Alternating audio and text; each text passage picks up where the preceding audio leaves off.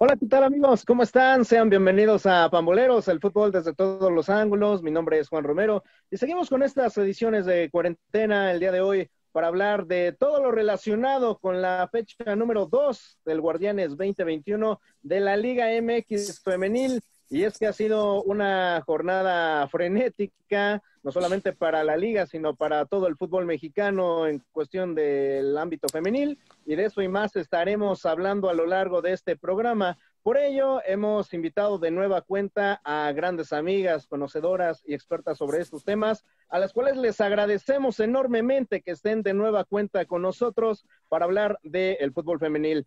Saludo primero con muchísimo gusto a Ivonne Almaraz. Ivonne, ¿cómo estás? Muy buenas noches. Hola Juan, Fer, Andrea, buenas noches. Pues nada, contenta de estar una vez más aquí con ustedes y además, pues dichosa porque nos tocó en un en una jornada donde hay mucho para hablar. Eh, efectivamente, hay para escoger ahora sí, para meter para arriba, dirían por ahí. Andrea Sierra, ¿cómo estás? Muchas gracias. Muchas gracias. Bienvenida, bienvenida. Este muchas gracias, ya no, muchas gracias a ustedes por, por invitarme. Saben que es un placer que estar aquí y pues como dice Ivonne, ¿no? creo que esta jornada hay mucho de qué hablar porque hubo rompequinielas. Sí, al por mayor. Fernando Rodríguez, ¿cómo estás? Buenas noches. Buenas noches, Juan. Saludar a Andrea y Ivonne. Saben que siempre es un placer tenerlas aquí con nosotros. Así es, Juan, ardió Troya también, eh, muchas noticias, mucho que comentar y, pues alguna que otra polémica también.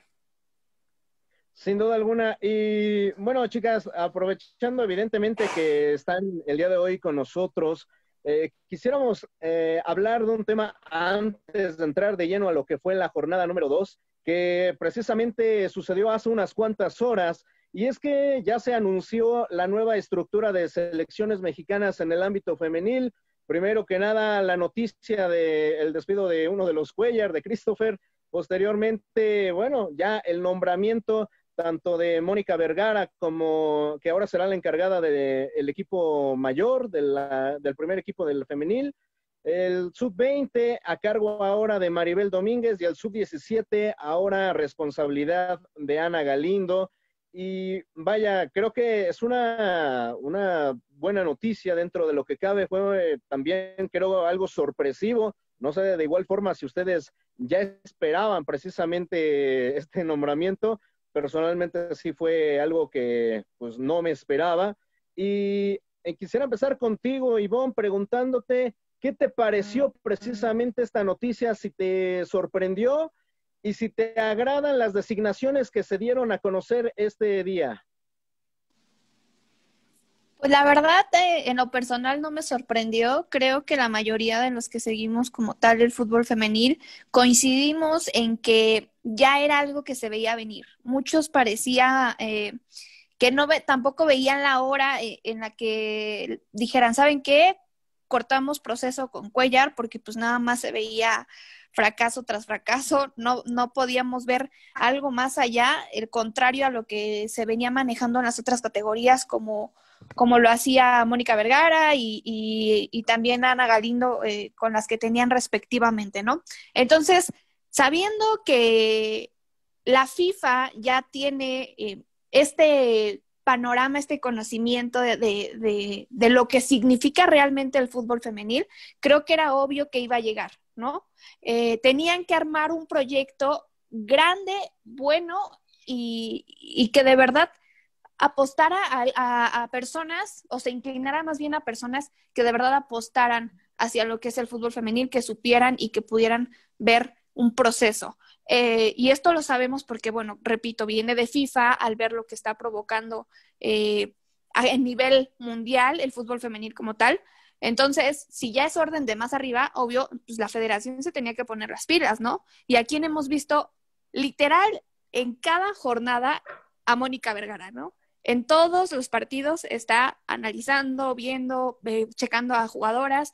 Entonces, esto no es nuevo y al notarlo, yo sí, o sea, cuando dieron la noticia de Cuellar Bay, dije, es la elegida y no dudo que lo vayan a hacer porque obviamente, pues tienen, tienen que tener aspiraciones y ser ambiciosos en ese proyecto y, no podían desperdiciar el talento que tenían ahí adentro, ¿no? Entonces, el asignar a, Mónica con la selección mayor, a Ana Galindo con la, con la 17, a Maribel Domínguez con la 20. Entonces digo, era lo que, lo que faltaba. Las tenías ahí, ahora explota el potencial que traen. De acuerdo. Andrea Sierra, en tu opinión también, ¿qué te parecieron estas, decisiones que ocurrieron entre el día de ayer y este día precisamente en donde pues se fue como que un cisma, por así decirlo, se va Christopher Cuellar, llega Mónica Vergara, lo que acabamos de comentar, y personalmente, ¿cómo tomas esta decisión? Pues la verdad, como dice, como dice Ivonne, ¿no? Tal vez no es tan sorprendente. A mí sí me sorprendió, no que eligieran a Mónica, sino que lo hicieran de un día para el otro. O sea, no creo que lo vengan haciendo de un día para el otro, sí creo que ya llevan tiempo trabajándolo, porque yo había comentado que en el momento en el que se cancela el Mundial y se recorre, terminaba como ese ciclo para Mónica Vergara. Entonces, lo correcto o lógico para mí era que quitaran a Cuellar, dejaran a Mónica Vergara y fueran como ascendiendo peldaños para que la gente, pues, o sea, para que ya siguieran como ese proceso, ¿no? Entonces, para mí lo correcto fue lo que hizo la selección, ¿no? Me parece correcto. No sabía y no esperaba que fuera a ser así de la nada porque realmente ni siquiera estuvo sonando. O sea, literal fue un bombazo que nadie esperaba. Entonces, para mí eso fue lo que impactó. Creo que no, no lo esperábamos y como dice Ivonne, ¿no? O sea, que que Mónica haya estado yendo a todos los partidos te habla que seguramente es un trabajo que ella ya sabía que iba a tener, ¿sabes? O sea, como que ya estaba pensando en que eso iba a pasar. Y la verdad, para mí es una excelente decisión, pero ojo, eh, puedes, puedes tener a Mónica pero si no le das las herramientas para que trabaje, el proyecto va a ser un fracaso. Entonces, pues hay muchas cosas que tiene que cambiar en la, en la federación, pero este cambio me parece que es un buen cambio. De acuerdo. Paso a saludar ahora a Abigail Parra con muchísimo gusto y es que se está incorporando a esta transmisión. Abigail, ¿cómo estás? Buenas noches. Hola, buenas noches Juan, buenas noches a todos los que están también aquí presentes y gracias y una disculpa. es que ya saben, de Cruz Azul no deja en paz. Nada, no te preocupes. Este, precisamente quisiera preguntarte sobre lo ocurrido entre el día de ayer y hoy respecto a selección mexicana, eh, la destitución de Christopher Cuellar y bueno, eh, la designación tanto de Mónica Vergara, Maribel Domínguez y Ana Galindo ahora en sus, en sus nuevos puestos. ¿Cómo tomas estas decisiones? ¿Qué te parecieron y si crees que son las adecuadas? Claro, sí, la verdad es que eh, yo creo que ha sido lo más acertado por ahí, por lo poco que, que, alcancé a escuchar de, de, que ya estaban platicando justamente del tema. Eh, es lo más acertado porque al final es lo único que hay, es lo único que tienes, ¿no? Si, si como federación no te has aventurado a salir y buscar gente en el extranjero, como si otras, otros países, como los casos de, de, de Europa, pues al final tenías que voltear a ver lo que tenías aquí en el país, que ojo, no es despreciable, no es como conformista, al contrario, tienes a gente muy capaz y preparada, y creo que esa fue la apuesta de la Federación Mexicana de Fútbol en, a nombre, ¿no? De John de Luisa y de Gerardo Torrado. Yo me quedo con un, una sensación de, por supuesto, me da gusto. Para mí siento que todavía no era el momento de Mónica Vergara. Para mí siento que todavía teníamos que verla hacer esa transición de la sub-20, que es la categoría que ella tenía mando, hacia la mayor, porque si hay alguien que conoce justamente esa generación que es la que va a hacer el cambio, es ella. Y creo que al final de cuentas el hecho de que esté con la mayor va a forzar a que ese cambio sea más rápido, porque yo espero que Mónica Vergara no me presente las mismas jugadoras que en su momento me presentó Leo Cuellar y que después me presentó Roberto Medina y que después me presentó eh, eh, Christopher Cuellar, ¿no? Espero ya ver nuevas caras y que realmente Mónica se apoye en el proyecto de la Liga MX femenil. Me hubiera gustado también ver que en este nombramiento de esta estructura, ver a una figura de directora eh, deportiva, de dirección de selecciones nacionales femeniles sea hombre o sea mujer, yo la verdad es que ustedes lo saben y siempre lo he manifestado aquí en todos lados, el tema de género a mí siempre lo he mantenido a un lado, no por ser femenil tienen que ser mujeres las que trabajen en femenil. Eh, a mí sí me hubiera gustado ver a una figura, porque creo que Gerardo Torrado está abarcando, como dicen por ahí, ¿no? Este, aprietas mucho, abarca, no, aprietas poco, abarcas mucho. Dice el dicho, ¿no? Eh, Gerardo Torrado lleva sumando todo el proceso de selecciones varoniles, llámese la mayor, que bueno, sabemos que es lo más importante en nuestro país, todo el proceso de selecciones de varoniles eh, inferiores y además el femenil. A mí sí ya me gustaría ver que la federación dé esa, ese golpe sobre la mesa y que diga, vamos a separar a varoniles de femeniles y vamos a tener un ente, una figura que sea la que se haga cargo exclusivamente de la femenil, porque así como en varonil tienen a una persona exclusiva que, por ejemplo, analiza a los mexicoamericanos, la femenil también lo necesita. Femenil también necesita que analices a las mexicoamericanas y que no las convoque un Christopher Cuellar o un Leonardo Cuellar por el conocimiento que ellos tienen sobre el fútbol eh, eh, allá en Estados Unidos, ¿no? Entonces, a mí sí me hubiera gustado eh, que el proyecto se presentara más completo. Para mí este proyecto es un 80% y lo cual aplaudo muchísimo el ver a Mónica, el ver a Maribel y a Ana Galindo en, sus respectivas categorías. Y al final, eh, bueno, ya, ya está hecho, ¿no? Ahora sí que no podemos tampoco estar exigiendo de ya, ya y mañana y pasado. Ahora me gustaría muchísimo que dejaran trabajar a Mónica en el aspecto de que veamos ya por fin una concentración de la selección mayor, porque no hemos tenido absolutamente nada durante toda la pandemia, ni siquiera reuniones virtuales y bueno, pues ni cómo pensar en partidos amistosos, ¿no? Y también que las jugadoras entiendan, ¿no? Que ya se viene ese cambio y que ya también dejemos a un lado los egocentrismos, los egocentrismos y dejamos a un lado las imposiciones de llamados, que si porque es mi pareja, que si porque es mi amiga, que porque si ella fue mi exnovia, ya, o sea, que se quede a un lado eso y que de verdad se limpien estos vicios y que Mónica Vergara pueda trabajar y pueda hacer esa transición de esta nueva generación, de este cambio generacional, porque se te viene ya el proceso mundialista para el 2023, ¿no? Que si no clasificas, si de por sí el pasado fue un fracaso, y entendiendo eh, y distorsionando, eh, entendiendo un poco, ¿no? La complejidad, ya para el otro mundial ya tienes casi cinco plazas, ¿no? Si entendemos que hay un medio punto. Entonces no hay manera, no hay pretexto en el que la selección mexicana para el 2023 no la veamos en el mundial. Sí, claro. Ahora, Fer, te pregunto de igual forma, eh, ¿qué te parecieron estas decisiones? Precisamente si te sorprendió. Eh, retomando un poco de lo que han mencionado las chicas también, eh, para ti ya había terminado el proceso de los Cuellar. ¿Fue Mónica Vergara la mejor opción que tenía precisamente la selección mexicana para poner en el primer equipo, por, por, así, de, por así llamarle? Eh, bueno, creo que sí sorprende eh, de repente ya ver la noticia de que pues, Christopher Cuellar deja la selección mexicana eh, mayor, femenil. Creo que eso sí nos sorprende a todos, nos cae de golpe. creo que ya había acabado el ciclo, sí.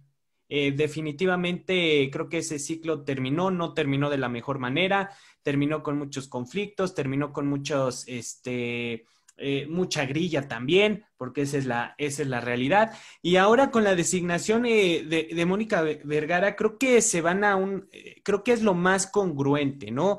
es lo más congruente y lo más positivo para seguir o al menos fortalecer esta estructura eh, de selecciones eh, nacionales femeniles, tanto mayor, sub-20, sub-17, eh, que se pueda, o yo espero que trabajen a la par para tener un proyecto o generar un proyecto mucho más consolidado de... no de visorías, pero sí de inteligencia este, de jugadoras, eh, también ya qué tanto en este momento te puede aportar la Liga MX femenil de calidad, de selección nacional, que estén en el proceso, eh, que pasen a selección mayor. También creo que va a ser muy abrupto el cambio, eh, e, este salto, sí, pero al final de cuentas esto es de tiempo, Juan, es de paciencia y es de ver, ¿no? Es de ver cómo se va desarrollando, cómo este eh, van reaccionando las jugadoras, porque también en las declaraciones de Mónica Vergara, pues eh, por ahí uno o dos eh, indirectas, ¿no? A algunas jugadoras que posiblemente se puedan o no sentir intocables, que al final de cuentas ya vieron que no lo son y que van a tener que trabajar y demostrar su calidad, ¿no? En todo este nuevo proceso de cara a lo que será la siguiente Copa del Mundo. Claro. Ahora, Ivonne, por ejemplo, este, con base en lo que acabo de escuchar, de lo que me acaban de decir, me da la impresión de que hoy se terminó como un, un régimen como de oscuridad, como de maldad, de malos resultados y que a partir de ahora todo va a ser luz, por, es lo que he estado viendo en redes y demás. ¿Es así realmente, Ivonne? Híjoles, ¿quién soy yo para decir sí o no? Pero no, si fuera por mí diría que sí, digo, realmente teniendo en cuenta pues los resultados, digo, al final eso es lo que habla por uno, ¿no? Lo que hicieron y, lo que no hicieron. Entonces, eh, creo que los números de, de, Christopher Cuellar no son nada gratos, los de Medina tampoco fueron nada gratos, entonces es obvio que la gente empieza a, a ilusionarse con, con estos cambios porque lo decía Abigail, es, es como empezar de nuevo, ¿no? Es este, tener un cambio generacional y creo que, va a ayudar muchísimo. Entonces, no sé, no puedo decirte sí o no, pero dejemos las expectativas abiertas, teniendo en cuenta también eh, la calidad y, y, lo bien que se ha venido preparando Mónica Vergara. Entonces, por ahí, o sea, no me atrevo a decir sí o no, pero creo que es algo positivo. De acuerdo. Andrea, sí, sí, claro. Este, de hecho, te iba, te iba a dar la palabra precisamente, este, y antes de que de igual forma me, me des este, tu opinión, preguntarte, entonces, si, si eran tan malas las cosas, ¿por qué se tardaron tanto en tomar esta decisión? Porque no les importaba.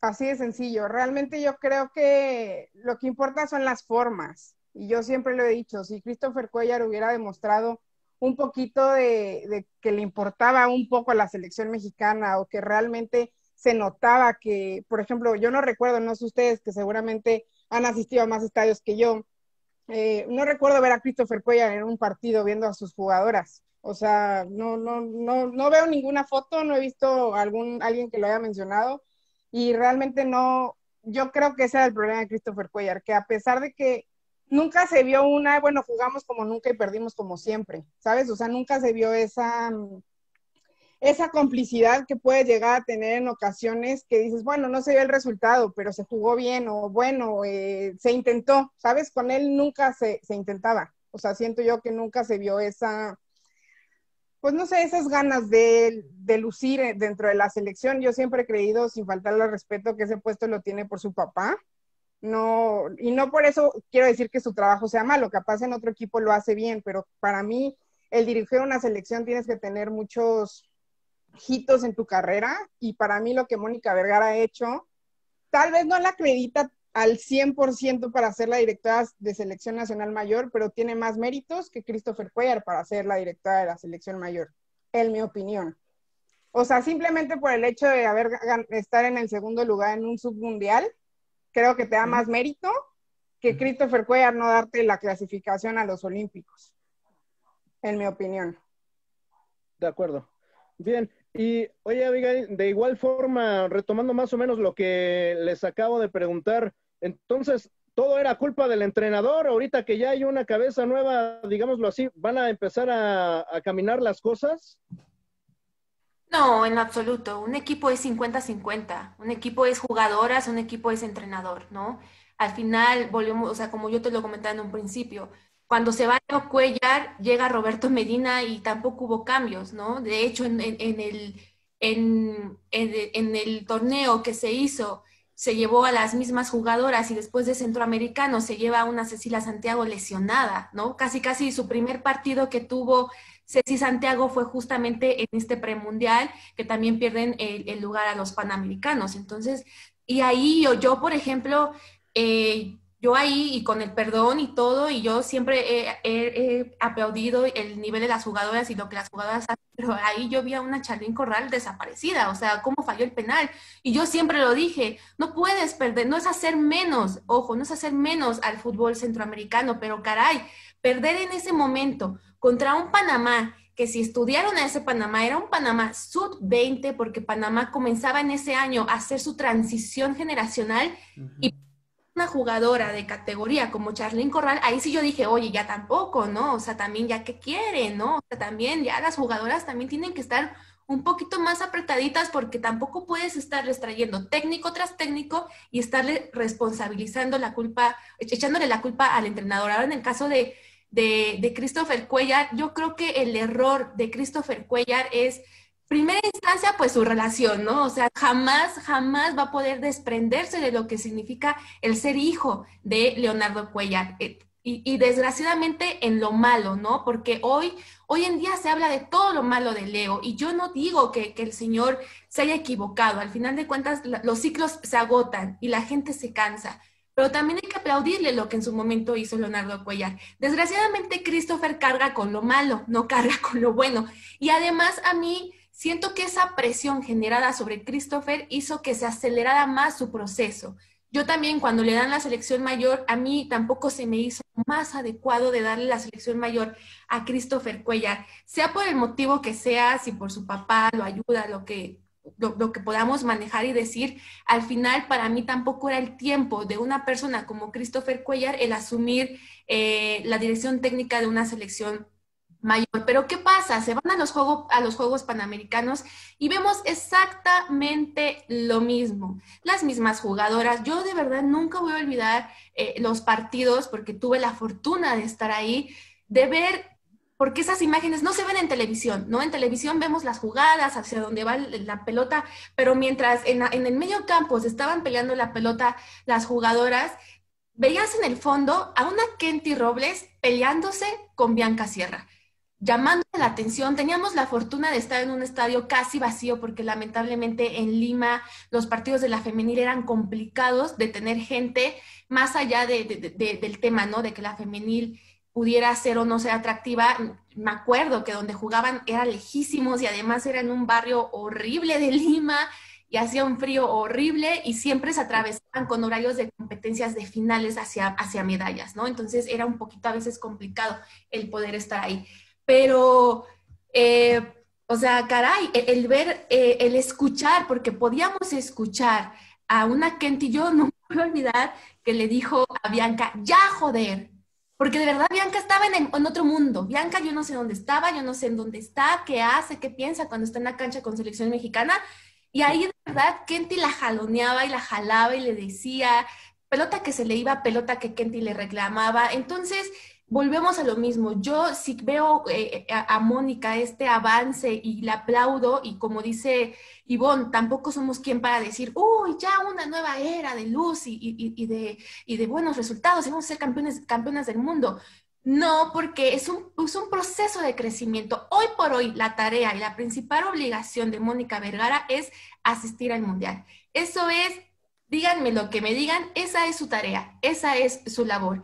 Y tiene las cosas no fáciles, porque nada es fácil en esta vida, pero sí las tiene más digeribles por el tema de que se ampliaron las plazas y por el tema de que si ella hace esta transición del cambio generacional de la sub-20 a la mayor, le puede venir bastante bien a Mónica. Y como lo dije en un principio, ya dejar de imponerse jugadoras y dejar de imponerse llamados por relaciones sentimentales que puedan tener entre las jugadoras. Ahora, eh, el, eh, Christopher Cuellar, pues ni modo, va, a cargar con esa cruz siempre, ¿no? Ojalá, a mí me encantaría verlo en un club de la Liga MX femenil, verlo crecer más, verlo desarrollarse más, porque a mí sí me consta, y yo eso sí lo puedo decir, yo a, Christopher Cuellar, yo lo he visto eh, eh, estudiando, yo lo he visto, en, ahora con todo esto de la pandemia, lo he visto en varios ciclos que luego hace la FIFA, eh, me ha tocado verlo, digo, Andrea mencionaba, ¿no? Que ya ha ido a pocos estadios, pero yo, yo Andrea, de verdad, y yo creo que Ivonne tampoco me lo puede negar, sí, se le ha visto a Christopher en los estadios también analizando a las jugadoras, al final tienen que estar ahí, ¿no? Porque eh, si hay algo que tiene esta Liga MX femenil es que sus partidos, como puede tener a una jovencita de 16, 17 años, como puede tener a la jugadora más experimentada o más grande de la Liga MX femenil. Y por ende, pues los entrenadores, tanto llámese sub 15, sub 17, sub 20 y la mayor, tienen que estar ahí en los partidos de la Liga MX femenil, porque no solamente Mónica lo, lo hace. También en su momento lo ha hecho la misma Maribel, también yo he visto a Ana Galindo, al mismo Christopher Cuellar. De hecho, Christopher iba más a los partidos de la América, por ejemplo, y evidentemente, ¿no? A veces llevaba a su niña y la niña con el y feliz de vida, ¿no? Entonces, no es tanto el partir y decir ya salimos del túnel, porque este túnel oscuro fue proporcionado y fue realizado tanto en complicidad por Federación Mexicana de Fútbol, por la poca importancia que se le ha dado al fútbol femenil, por los cuerpos técnicos y por las jugadoras. No hay que dejar tampoco de lado las jugadoras. Yo les aplaudo y les reconozco todo lo que han hecho y todo lo que han luchado. Pero al final, las que están en la cancha son ellas, las que cobran un penal y las que atajan un penal son ellas, ¿no? Entonces, yo sí soy más de esa idea de compartir un poquito más responsabilidades y, bueno, vamos a ver, digo, yo vi por ahí en Twitter que decían, se acabó la era de los Cuellar, pero las tres mujeres vienen de ser apoyadas por Leonardo Cuellar, las tres mujeres, ¿no? Ana Galindo salió del equipo de Pumas de la Universidad Nacional Autónoma de México, creyendo, junto con otras jugadoras como la misma Betsy Cuevas o Ana López, creyendo que Pumas las iba a adoptar como su equipo en la Liga MX Femenil cuando se conforma la Liga Femenil, y no es así. Pumas ni siquiera las volteó a ver. Y de hecho hay un texto muy, muy, muy bueno en la Gaceta de la UNAM, en donde ganan, de hecho, creo que el último campeonato a nivel en, eh, universidad, en donde jugaron ellas, jugó la misma Ana Galindo, ¿no? ¿Y qué pasa? Leo Cuellar arropa a Betsy, a Ana Galindo, a esta Ana también, Ana Lozada, se me fue su, su nombre. De hecho, de ahí mismo también llegó a jugar la que hoy es árbitro, está Katy. Entonces, ese apoyo y ese impulso por parte de Leonardo Cuellar, pero ojo, no le deben lo que son hoy por hoy a Leonardo Cuellar. Eso sí, definitivamente. Cada una ha ido preparándose y ha ido teniendo sus experiencias por los logros y los méritos que han conseguido en, lo que han hecho. Sí, de acuerdo. Ahora, Fer, este, ya de igual forma para redondear este tema, eh, digámoslo así, creo que también una de las ventajas que va a tener Mónica Vergara, y no sé si concurres conmigo, es que creo que dentro de lo que cabe no va a tener tanta presión, o al menos en este arranque de proceso, ¿no? Eh, sí, puede descansar un poco más también por las circunstancias en las que nos encontramos todavía eh, con la pandemia. Ya Mónica Vergara presentará mucho más a detalle su, su proyecto, lo que busca. Eh, le va a pedir a, a Federación y a la Dirección de Selecciones Nacionales pues eh, tiempo, espacios, manera de, empezar a trabajar eh, con las jugadoras, pero al final de cuentas, pues ya al momento en el que se regrese a la cancha, eh, ahí es donde verdaderamente se va a poder evaluar o se va a poder juzgar el trabajo previo que estará realizando, pero por el momento, pues la crítica es favorable, Juan, entonces, pues desde ahí puede empezar mucho más tranquila. Claro. Y bueno, pues ya más adelante, evidentemente, le estaremos dando seguimiento tanto a Mónica Vergara como a Maribel y demás compañía para ver cómo van sus procesos. De igual forma, les deseamos el mejor de los éxitos, no solo por ellas, evidentemente, sino por el bien del fútbol femenil en México. Y ahora sí, rápidamente, chicas, vamos con la fecha número dos, porque también hubo mucho que comentar. Y quisiera comenzar, Ivonne, contigo la victoria, la sorpresiva victoria de las rojinegras del Atlas 2 por 1 sobre Tigres. Eh, el Atlas le gana a un equipo que la temporada pasada en fase regular solamente perdió un partido, que son las actuales campeonas. Y hoy por hoy el conjunto rojinegro con una Alison González que anda en modo Dios, pues le termina pegando a las campeonas. Sí, o sea, totalmente fue un, partidazo, ahí sí coincido. No creo que fuera sorpresivo porque, eh, vamos, el, creo que el nivel de Atlas ha, ido de menos a más y cada torneo se nota, ¿no? Le ha faltado ese, ese extra, pero eh, ahí está.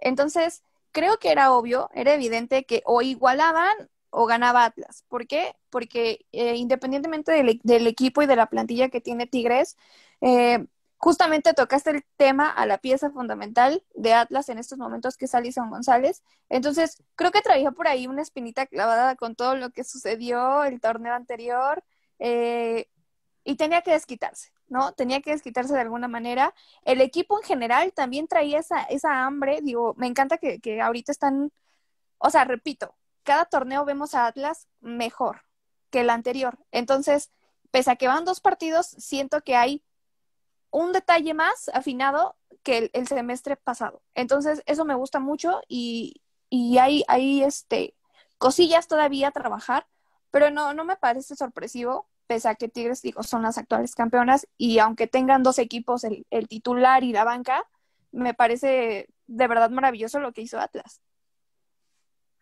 Claro, vaya, no sé si coinciden también, chicas, en que no fue sorpresivo. Personalmente sí, no me lo esperaba. Pero vaya, también en otro duelo, Andrea, este, Rayadas de Monterrey, segunda goleada consecutiva, 10 goles a favor, cero en contra. Hasta el tus rayadas, este, Andrea. Por Dios, es de lo mejor ahorita de la Liga MX Femenil. ¿Cómo ves a las subcampeonas de la Liga MX Femenil? Mira, yo voy a decir, en este momento voy a opinar un poco como aficionada. Este, no me sirve que metan 275 goles y van a perder la final, ¿no? O sea, realmente se va a escuchar mal, pero los equipos con los que se han enfrentado en las estas dos jornadas, creo que no se puede hacer un parámetro de lo que va a ser Rayadas cuando se enfrenta a un Necaxa. Y no me acuerdo contra quién se enfrentó la primera jornada, pero también San Luis. San Luis. Entonces, este, creo que eh, sería muy apresurado que yo ahorita te dijera, sí, final regia otra vez, ¿sabes? Porque creo que hay muchos equipos que este, este torneo pueden dar la sorpresa. Sí me encantaría ver a Rayadas en una final, no te voy a decir que no, pero Rayadas siempre es lo mismo todos los torneos. por lo general es el equipo que más goles mete y al final termina siendo exactamente lo mismo, ¿no? Entonces, pian pianito, obviamente se ven bien, se ven, eh, se ven, creo que se ven bien eh, físicamente y me encanta que ya le estén dando más oportunidad a Elina Vilés, creo que lo merece y creo que ella va a ser pieza fundamental para Tito Becerra esta temporada. Andrea, ¿por qué no te convence Becerra? Ay, es que yo creo que tengo ahí un algo con él, no sé, pero me molesta mucho que en ocasiones, digo, yo como aficionada lo veo, ¿no? Y hay veces que que me pregunto, ¿qué vemos nosotros que el entrenador técnico no lo ve? Ellos, ellos están con ellas toda la semana, entonces seguramente ven más cosas que nosotros como aficionados no vemos. Pero ahí eh, siento que tienes un equipo con demasiado talento como para que juegues de la, de la manera en la que juegan en ocasiones las rayadas. Entonces, hay veces que siento que se pueden explotar más a las jugadoras que tienen más habilidad y se ven como un poco detenidas para no hacer eso. Eh, creo que hace los cambios muy tarde. Tiene una Yamile Franco que cuando entra te cambia el juego, lo vimos en la final. Y le da 10 minutos para jugar. Es como, perdón, vato, estamos, o sea, estás perdiendo, tienes que hacer algo para, para conseguir esa victoria, ¿no? Entonces, hay ocasiones en las que Tito de Serra siento que se, se tarda mucho en hacer cambios o no hace los cambios adecuados, pero digo, yo lo digo como aficionada, seguramente si yo fuera directora técnica haría exactamente lo mismo que hace él, pero pues no lo sé. De acuerdo. Abigail, este, precisamente retomando este partido, este, segunda derrota de Necaxa, y bueno, ya se fue Fabiola Vargas, primera cesada del certamen. No sé si de, de igual forma se tardaron o fue precipitada esta, esta decisión. Y aprovechando igual que te doy la palabra también, Cruz Azul ya también invicto, al menos en este arranque del, del Guardianes 2021, empata con el León uno por uno. Claro. Sí, la verdad es que eh, con el tema de Fabiola Vargas creo que ya se habían tardado. Volvemos a lo mismo. También aquí el, el mal proyecto que le ha dado Necaxa a Necaxa Femenil es culpa de todos, ¿no? Es culpa, aquí sí para que vean, aquí sí veo un poquito más de víctimas a las jugadoras, porque cada torneo son 10, 11 nuevas jugadoras, van y vienen, vienen bien jovencitas o vienen ya algunas eh, más, más, eh, más de edad. Pero aquí la directiva sí nos está dando a entender que si por Necaxa fuera y por si San Román fuera, eh, Necaxa, ni siquiera le apostaría al femenil, ¿no? Aquí sí estamos viendo esta situación de que es una obligación ejecutada mal y de malas, ¿no? Porque también hay muchos equipos, ¿no? No podemos decir que todos los equipos están fascinados con femenil, evidentemente es complejo por los gastos generados, pero al final hay que saber hacer bien las cosas, o mínimo hay que saber bien aparentar las cosas. Y si hay algo que no ha hecho Necaxa en todos estos años de la Liga MX Femenil es aparentar que no les interesa, que no les importa y que Necaxa está ahí. Yo siempre tenía esta discusión con Fabiola Vargas de que ella me decía que ella estaba, que Necaxa estaba para formar jugadoras. Yo no sé si Necaxa tenga la base en selección sub 15 o sub 17 o sub 20 o en la mayor, porque yo no le veo jugadoras formativas, ¿no? Jugadoras que tú digas, o en Monterrey, ¿no? Ay, esta jugadora viene en Necaxa, o en Tigres, ay, esta jugadora viene en Necaxa. Creo que la jugadora que yo más o menos he visto que podemos achacarle a Necaxa es, es, es, Brenda, la que está, que está en Cruz Azul y que ahora está con Atlético de San Luis, la defensa central. Creo que es la única, ¿no? A, mi parecer. Entonces, yo sí creo que ya se habían tardado demasiado, perdón, demasiado. Em, yo por ahí, de hecho, platiqué con, con, gente del cuerpo técnico del profe Cebada y ellos me platicaban que torneo tras torneo ellos iban y ofrecían pues su proyecto, sus servicios, ¿no? Porque también Cebada creo que es una figura que la Liga MX Femenil está perdiendo, que era el entrenador de Lobas, de Lobas WAP, y ellos nos decían, es que no, o sea, ellos dicen que, que van fe ciega con, con Fabiola Vargas, ¿no?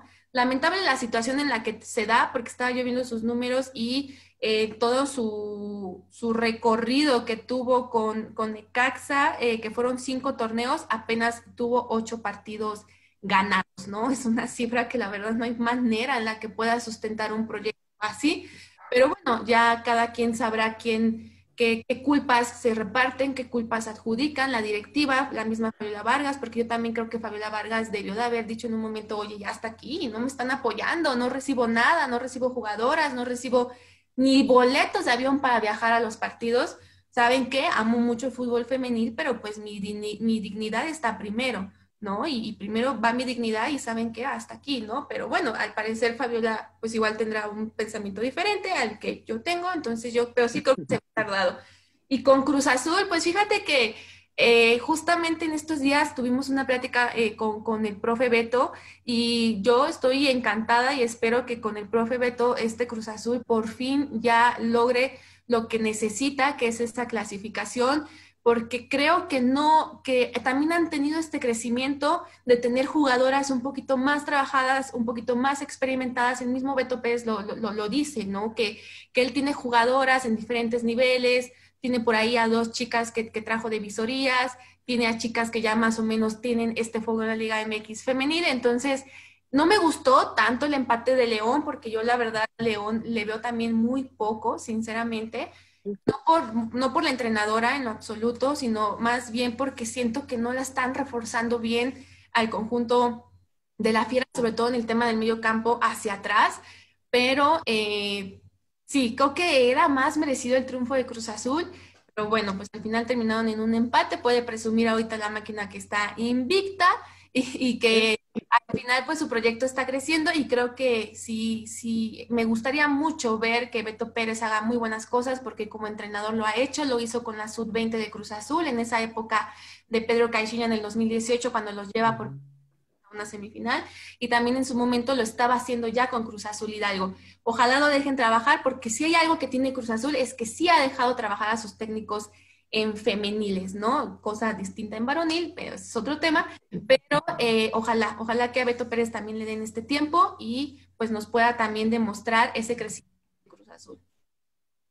Claro. Fer, ganó el América, dos por uno a Juárez, primeros tres puntos en Cuapa. Así es, Juan. Eh, definitivamente es un triunfo muy bastante arañado por parte del conjunto de Leonardo Cuellar. América no juega bien al fútbol, esa también es una realidad, no juega nada bien. Saca el triunfo porque individualmente encontró eh, mejor calidad que Juárez, pero Juárez por momentos se vio mucho mejor que América.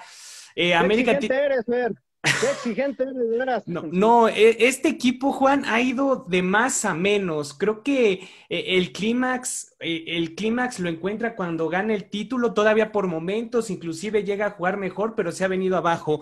Eh, Leo Cuellar no ha encontrado una alineación en específica. Es en esta jornada 2, hace muchas modificaciones respecto a la jornada 1, incluyendo ya algunas de, de las refuerzos como esta Ferpiña. Pero yo creo que América, eh, lo que, o sea, necesita trabajar más en lo físico, para empezar.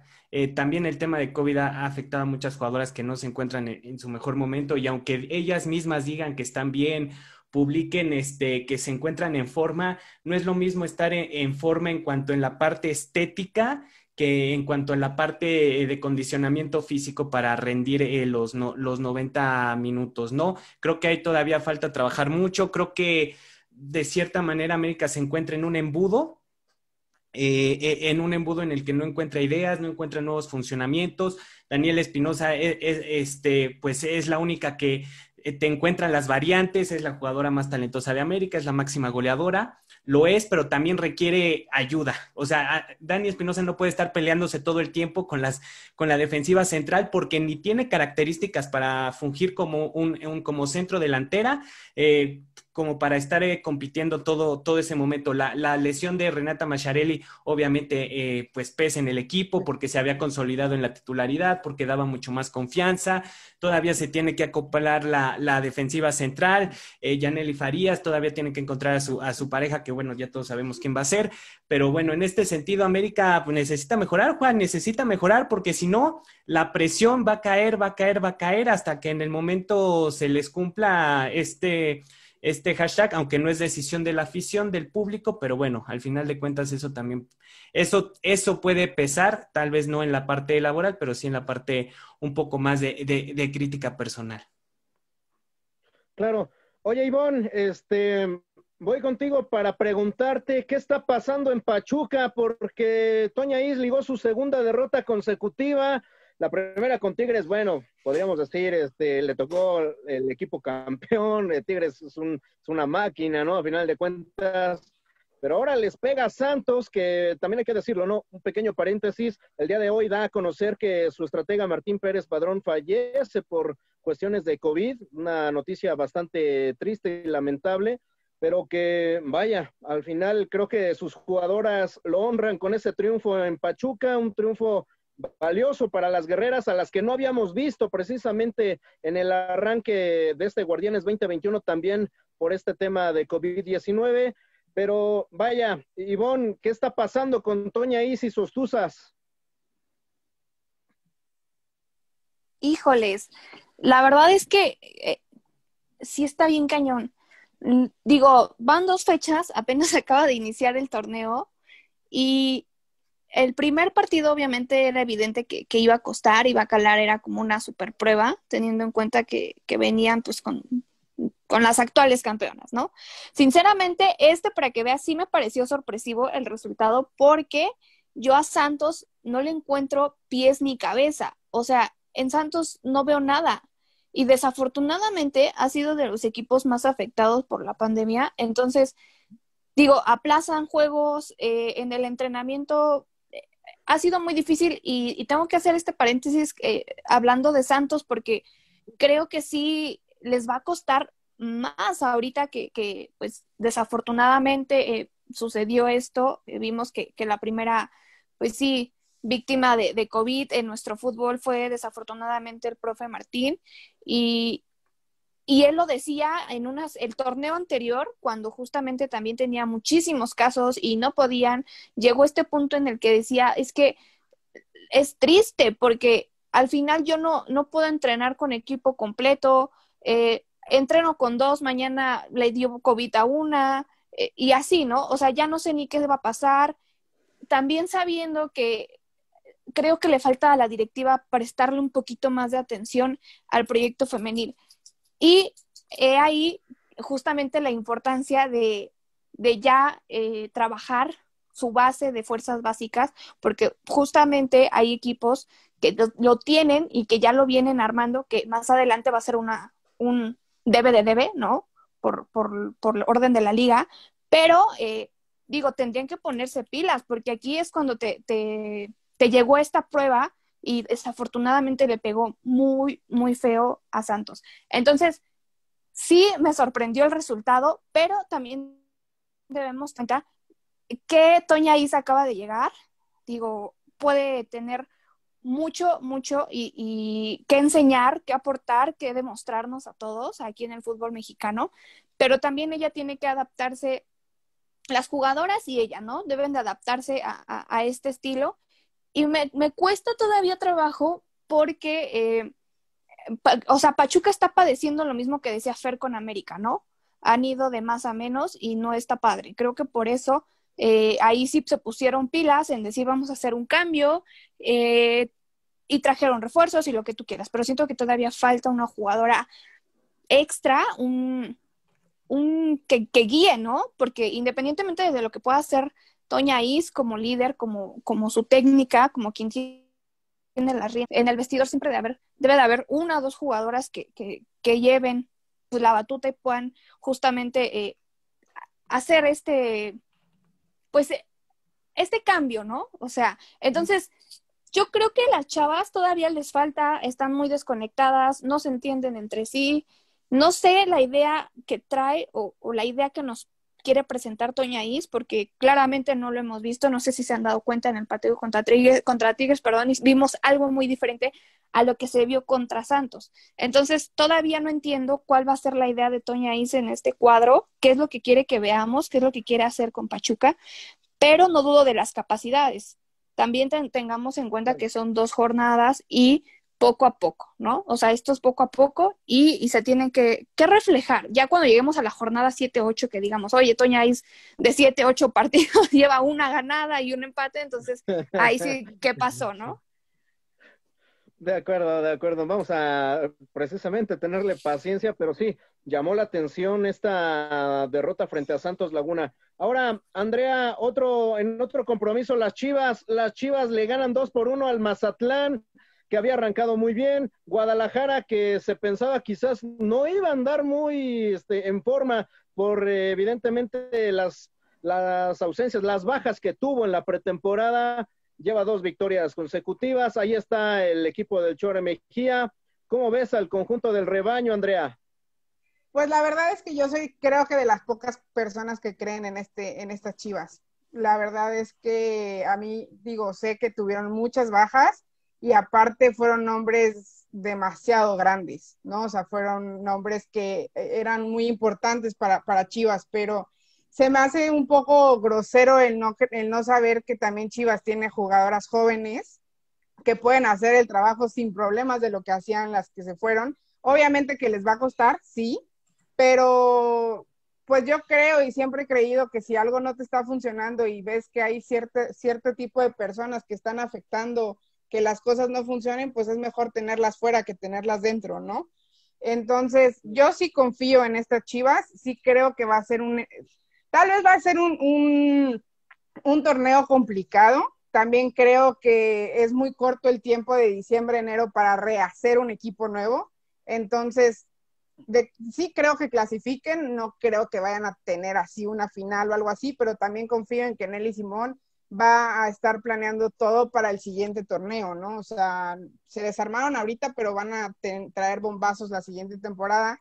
Por lo mismo, porque hay más tiempo de que se vayan a adaptar y todo ese tipo de cosas, ¿no? Y también mencionar que muchas de las bajas, Simón lo había comentado al inicio del año, ¿no? Que no iban a sacar a ninguna jugadora por tema de COVID y que lo más probable es que la sacaran después. Entonces también seguramente muchas de esas bajas ya estaban presupuestadas pero pues como fue literal, creo que fueron 13 jugadoras o 11 jugadoras, literal una alineación completa, ¿no? Entonces creo que eso fue lo que llamó más la atención y los nombres. Pero para mí Chivas va a tener un buen torneo. O sea, sí confío en el proyecto del Chore, perdón, del Chore Mejía. De acuerdo. Abigail, ganaron las Pumas. Las Pumas eh, llegan a seis puntos, dos victorias consecutivas. La semana pasada se imponen a Cholos de Tijuana, ahora lo hacen con las camoteras del Puebla. ¿Y cómo ves al conjunto universitario de cara a lo que resta de este torneo? Arrancó bien, por lo menos, eh, el proyecto de este nuevo torneo para el conjunto auriazul. Faltaba más, Juan, faltaba más que las Pumas a dar estos resultados. Ya, ya, es que también ya es hora, porque volvemos a lo mismo. Pumas Femenil tiene esta base, ¿no? A diferencia de otros equipos que se desarman, sigue manteniendo esa base y eh, si bien Pumas también era de que al principio de la Liga MX femenil se desechaba jugadoras, eh, como que a lo largo de estos torneos han aprendido, ¿no? A que ya nada más son puntuales las que se van y para mí Pumas eh, este 2021 fue de las que mejor, mejor se armó. Si, si Iliana Dávila está teniendo estos resultados con la alineación que está presentando, tomando en cuenta que no inicia una Dinora Garza o una Lucy Rodríguez, entonces, cuando sean titulares, porque deben de ser titulares, o sea, no, no ya mañana, pero yo creo que ya en la jornada 3, 4 ya debemos de ver a las titulares, eh, a las refuerzos, sobre todo a, Dinora, a Lucía, y, y a Campa, que son las que yo creo que ya tienen que estar ahí, pues tendría que dar aún así mejores, eh, mejores resultados, ¿no? La verdad es que es un equipo que, que yo a veces veo a una Liliana Rodríguez y siempre digo, es que Liliana debe de ser titular. Si hay algo que tiene Pumas es que a veces sus jugadoras son muy intermitentes.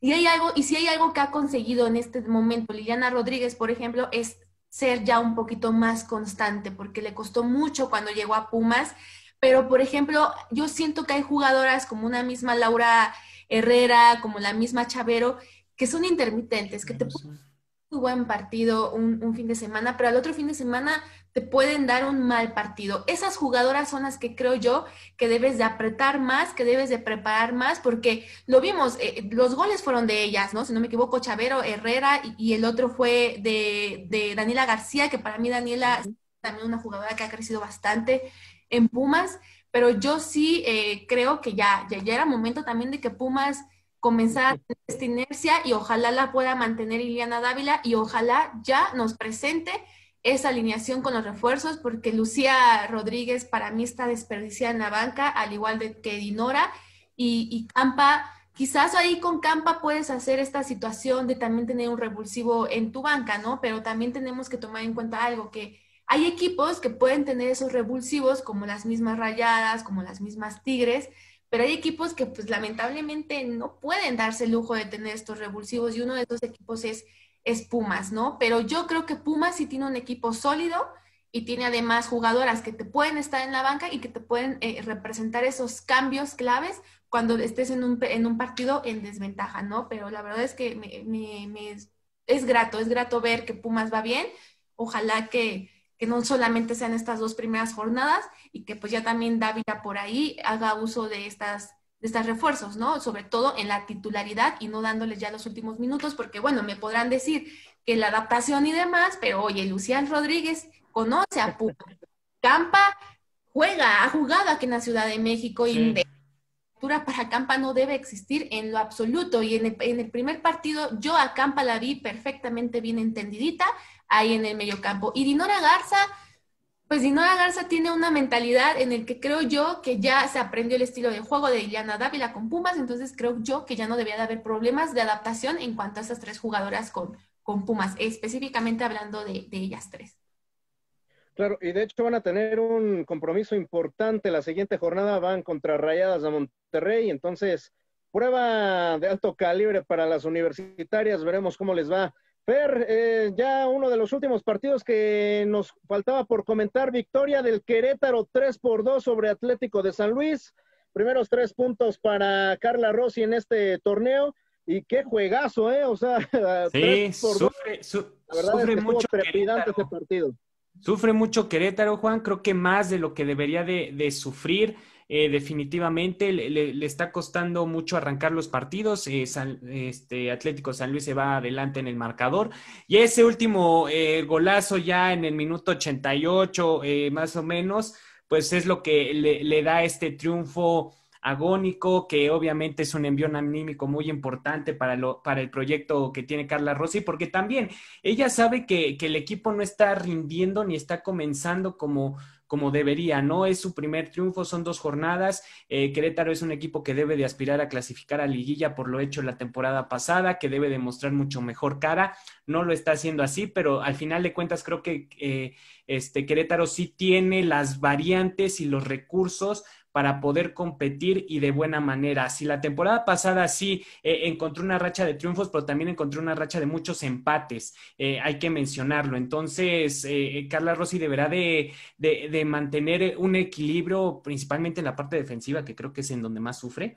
Eh, Querétaro, eh, y de ahí en fuera, pues ya empezar a sacar los resultados, Juan, como este, o sea, disparo media distancia y, aprovechar, porque también es aprovechar la calidad, es aprovechar recursos que tiene eh, el conjunto de Gallos Blancos.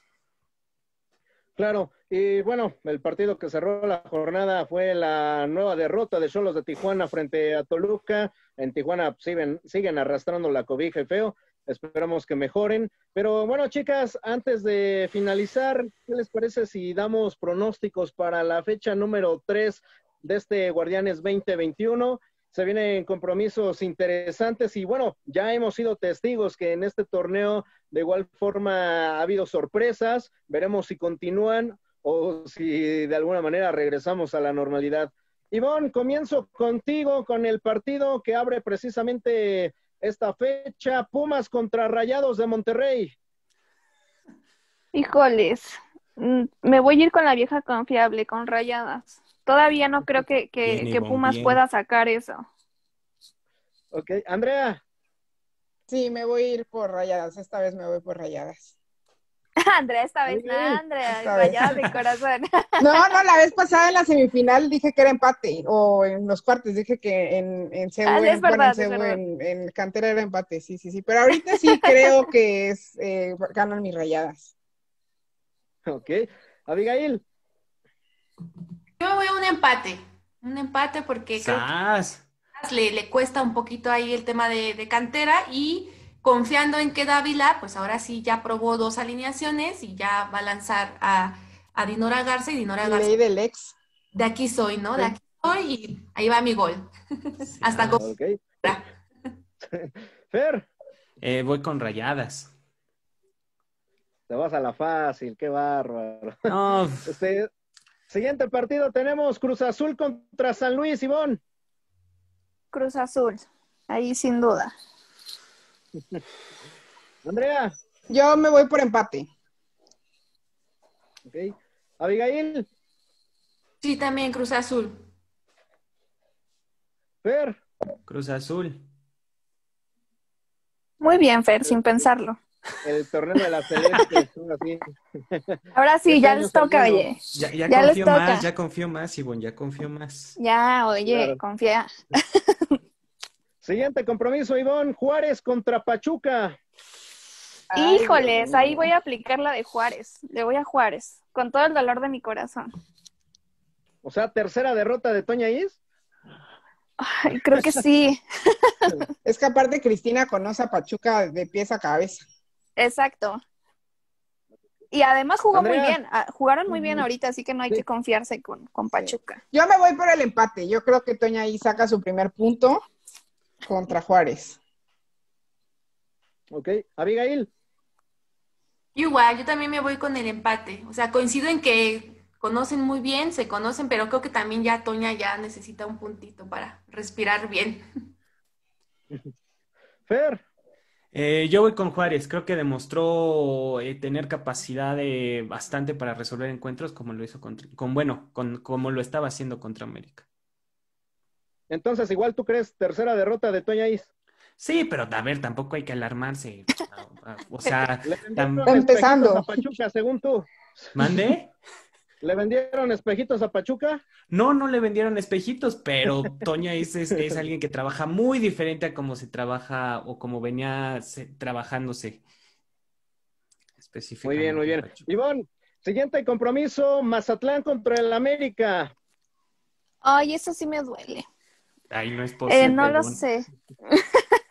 no, es que quiero, mi corazón dice ponle al América, pero es que no Mazatlán está dolido por los ocho goles que le metieron en el torneo pasado. Ya sé, aparte creo que juega ahorita mejor Mazatlán que el América, eso sí está muy intenso.